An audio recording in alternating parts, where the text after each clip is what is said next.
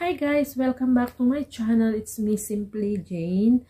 Ayan, at um, long time no uh, video to upload kasi naging busy na ako guys. So, pag-uusapan natin ngayon, topic natin ngayon, at kasi naisipan ko na wala naman akong ginagawa. That's why gusto kong uh, mag-vlog. Ayan. So, naisip kong content ngayon is kung paano ako nakarating dito sa Dubai kasi may nagtatanong kung ano daw ba yung requirements, ano daw ba yung ginawa ko, ano ba daw yung kinuha ko. So, without further ado, let's start guys. Pero intro muna tayo guys in 5, 4, 3, 2, 1.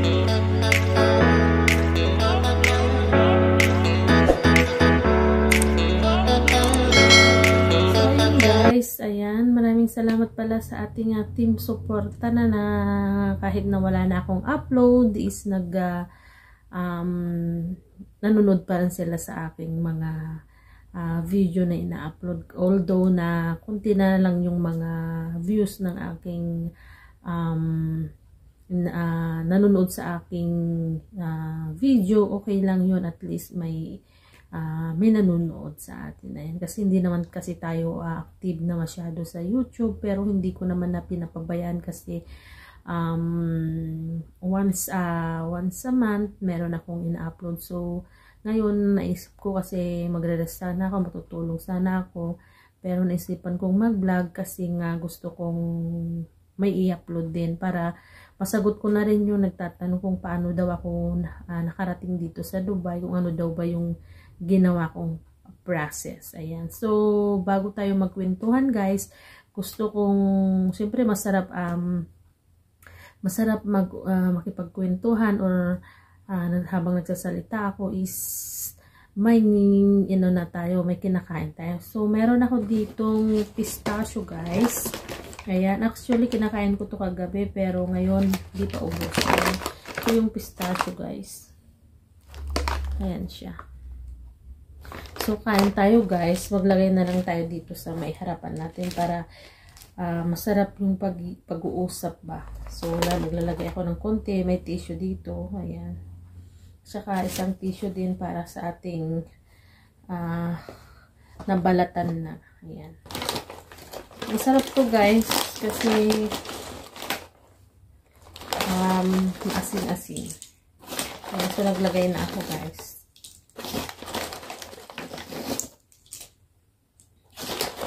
So, masarap mag, ano, pag may kinakain. Kaya pag nanonood, ba diba, may masarap mag, ano, manood pag may kinakain. Hindi ka parang, hindi ka naboboring. Ganyan. So, una guys, may nagtanong sa akin kung bakit daw ako nakarating dito. Guys, nakarating po ako dito sa tulong ng aking kaibigan na shoutout sa iyo, Jessica, Box Jessica, ayan. Tinulungan niya po ako dito, papunta dito sa Dubai. Actually, ang uh, ang balak ko sana is babalik sa dating amo ko which is sa Saudi. Kung napapanood niyo sa mga or sa mga nakakaalam sa akin na dati ako nagtatrabaho sa Saudi sa, sa Riyadh guys. So, babalik sana ako doon. So, ang bakasyon ko, nakakauwi ko lang last December. At ang balik ko sana is March 1 ng ngayong taon 2022. So, hindi na ako bumalik guys. Ngayon, second guys, um, uh, kailangan ba na mag-apply pa sa Pilipinas bago papunta dito? Actually, pwede rin mag-apply pero mas mabilis yung process ng kung ikaw ay re-entry. Ayan. Kasi, ang ginagawa ng agency is kumbaga yung papers mo um, kinukuha nila yung mga details ng mga uh, requirements mo, yan, yung mga passport, uh, yan, yung OEC, ayan kasi balik manggagawa tayo. Kasi yung nga, ang ginawa kong process is yung, ang, ang, ang tawag doon, ang ginawa kong uh, requirements is yung papunta doon sa Saudi. Ayan, yung mga binigay ko sa agency dito is, um, yung requirements na papuntang Saudi kasi kailangan din nila yun doon. Uh, dito, I mean. Kasi dito guys, hindi ka makakapasok pagka wala kang um, visa. Uh, so, ang lumabas guys is isa akong tourist visa dito guys. Kasi wala pa akong employer that time. Hindi pa ako nahanapan. Ayan. Kasi, actually guys, uh, last minute or one day na ako, one day bago ako nag-decide na pumunta dito. Siguro mga 20 27, February 27, or ilang araw, I mean, oh yun, oh, isa pa, isang araw pala, kasi 28, pumunta na ako ng um, airport, so March 1 kasi yung, yung, ano ko, yung flight ko. So, um, actually, nag-post kasi ako that day, 27 ata yun. And then, nabasa ng aking barkata na, oh, punta ka na dito. Kasi noon pa, before pa, nagsasabi na sa akin na, kung gusto ko ba daw mag-Dubai, diretso na daw ako, mag-cross country daw ako, ganyan. Pero sabi ko, gusto kong umuwi kasi 4 years ko naman nasa Saudi. So, yun guys. So, ang ginawa ko dito guys, hindi ako nag-apply ng Pilipinas. Kumbaga, yung mga requirements ko na dadalhin ko. Sana yung bit-bit ko papuntang Saudi dun sa dating amo ko is yun yung ginawa ko. Yun yung ginamit ko. Yun yung finorward ko dun sa barkada ko na kumuha. Even sa mga agencies kung may kalala kayo, ganun din yung process na kinukuha yung um, re-entry mo sa Kuwait, yung UEC mo, yun lang naman, passport mo, yun lang naman yun kasi yung ticket mo din, kasi yung details na kung kailan ka babalik, kasi yun yung ano, parang um, gagawin nilang ano, parang yun yung masusunod nilang uh, parang uunahan lang ng flight na papunta dito bag, uh, kaysa yung flight mo na na pabalik ng Saudi. So yung sa akin guys, yung ticket ko is um, mag-stop over talaga ako ng Bahrain So, ang ginawa ng agency dito, yung barkada ko, ang ginawa niya is Manila to Dubai and then Dubai to Saudi. Pero yung dati kong ticket is yung papunta sana ng Saudi, pabalik sana ng Saudi is uh, Manila to Bahrain and Bahrain to Riyadh. Ayan. So, pero parang ginawa din nila yung, parang yun din sinunod nila yung ticket ko dito. Pero, ang ginawa lang nila is yung dito ako mag-stop over, hindi na sa Bahrain. Kasi hindi naman ako babalik sa amo ko. So, ang ginawa guys is, nag-stop over ako dito sa Dubai. And then, dito na ako nag-exit. So, ang tanong, ano ba yung mga requirements pag andito ka na? Actually guys, napaka, napaka masilan pagka wala kang uh, visa. Kasi dapat sana is may visa ka kasi hindi ka makaka-exit dito kung wala kang papers ng visa. So, ang um, papers ng visa, pwede naman picture basta ano, tsaka passport mo, ayan. Kasi inaano nila sa immigration. Kasi kung makikita ka nila parang kaduda-duda, magtatanong sila. So, mahihirapan ka. Diyan.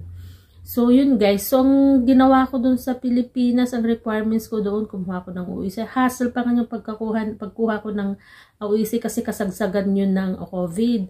So, puro appointments guys. Pumunta ako doon sa San Fernando, La Union kasi taga Goo La Union nga ako. Pumunta ako doon sa may um, uh, San Fernando para kumuha ng aking OEC pero sabi nila hindi daw sila tumatanggap, hindi daw sila nagre-receive ng walk-in lang. So, kailangan mo talagang um, kailangan mo talagang magpa-appointment through online. So, tapos ang hassle pa guys is yung Google ko na dating ginawa noon hindi ko na maatandaan kung ano yung Google ko, yung, yung password ko, yung ganyan. So, ginawa ko, Nag-search pa ako guys, nag-search ako dito sa may um, Facebook kung paano ba kasi madami din nag ano, yung mga expert na yan, ganyan yung mga may trabaho or sideline nila.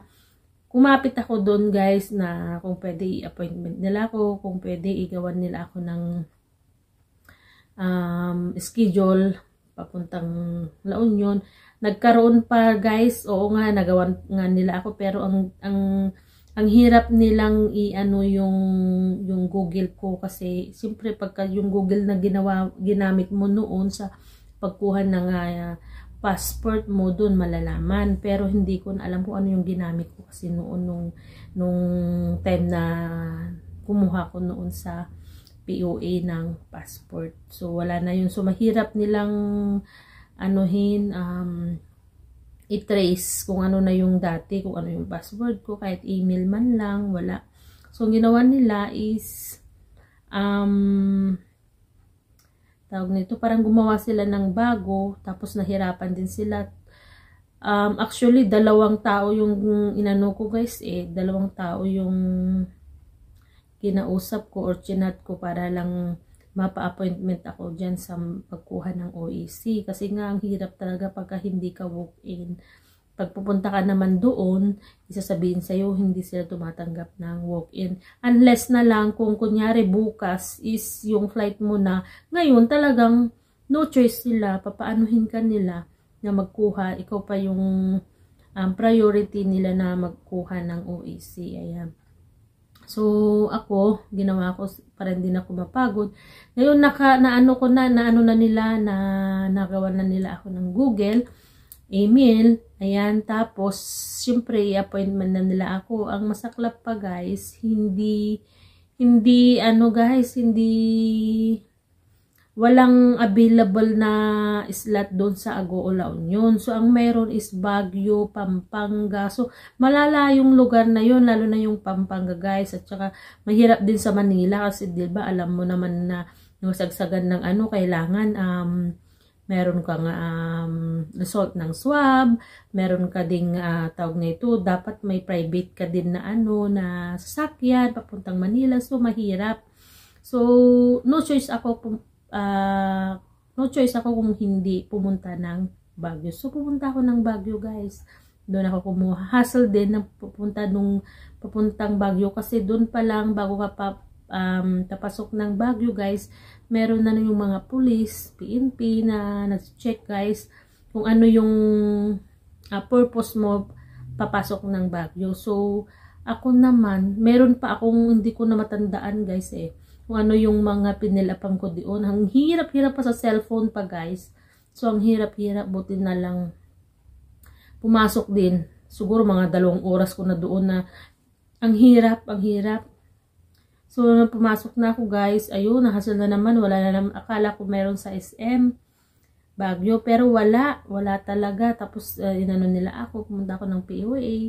Kasi bago daw yung bago daw, daw bago na daw yung place ng POA so pumunta ako doon doon medyo nakaluwag-luwag kasi smooth lang walang masyadong tao. Parang ako nga lang is parang limang person lang yung andoon. So nakakuha ako guys sa uh, thanks God sabi kong ganyan. Oh yun na naman guys. Kasi pagpunta mo ng Baguio guys ano na naman? Um, kailangan mo na naman magpa-appointment ng van papuntang Baguio. So ang hirap guys. Ilan ata yung binayaran ko noon is 1-2. Hmm. Tapos ang masaklap pa guys, meron din palang um, biyahe kahit na ano para siyang may stop stop over, may jeep, tapos magsakay ka na naman ng jeep, magsakay ka ng tricycle, tapos tricycle ulit. Pwede din pala yung ganun, pero nung umuwi ako, alam ko na ganun na yung ginawa ko, makakales ka ng pamasahe. So yun guys, ang hirap. Ang hirap talaga na, na pinagdaanan ko na kumuha ng OEC. Ayan. Nung pa-flight naman ako guys, ito na naman yung last guys. Yung pa-flight na naman ako is bit-bit ko yung OEC at saka yung swab test na 48 hours result. Uh, yung validity niya kumbaga, yun yung ano niya kasi kailangan nyo sa swab mo. Tapos, di, pagdating ko dito sa may Dubai guys, na swab pa rin ako. Ayan, kahit din ako nag-swab ng after ng rest ko dito sa Dubai. Ayan, kasi tumira ako sa barkada ko. Um, hindi na ako nag-swab kasi may swab na ako dun sa um, Dubai. So, dito na ako nag-exit guys kasi meron naman akong visa before ako mag-travel puntang Dubai. Binigay na off-forward na sa akin sa WhatsApp ng kaibigan ko. So, yun guys, smooth lang naman.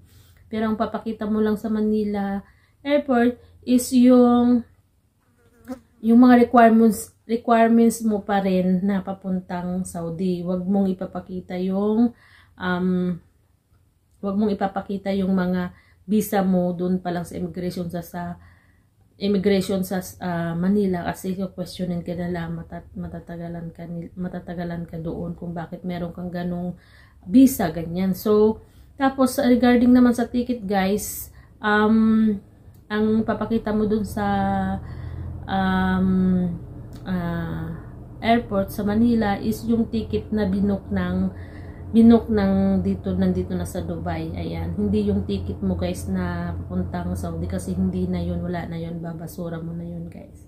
So yun guys yung mga mga requirements so nagtatanong ako ay isang re-entry mas madali ka kasing pumunta dito guys kung ikaw ay may kung ikaw ay re-entry at saka cross country pero kasi ako noon nagbakasyon ako kasi sa, sa tagal naman na hindi ako nakabakasyon 4 years kasi ako dun sa Dubai So, yun guys. Re-entry ako guys. Yun. So, yun guys. Napaka, guys, napaka hassle. Ang mga ano ko. Ayan guys, kumakain na ako ng pistachio. Ayan. Sobrang sarap guys, oh. Ayun guys, so yun yung mga um, um, requirements. Nagtatanong sana na sagot ko na kung anong ginawa ko, kung nag-apply ba ako ng agency ng uh, Pilipinas? Hindi po, dahil ako ay isang re-entry. Ayan, mas madali kasi pumunta dito o kaya ibang bansa kung kunyari re-entry ka, ganyan. So, yun guys. So, sana, nasagot ko yung uh, tanong mo, sister, ayan. Maraming maraming salamat sa pagko-comment ng mga questions and um, I hope na nagustuhan nyo at naintindihan nyo tong videos ko. Ayan, paki-like naman. At uh, don't forget na rin paki-subscribe kasi um, para madami din yung ating subscriber guys. Ayan, maraming maraming salamat guys. At ako ay nagpapaalam na sana ay um, keep safe everyone. At um, sana matapos na yung COVID para actually okay naman na pero sana dito sa Dubai medyo tinanggalan nila yung paggagamit ng mask. So hopefully sana maging okay na wala ng virus na na lalabas pa or kung ano-ano pa yan. So maraming maraming salamat. God bless you all. Bye-bye.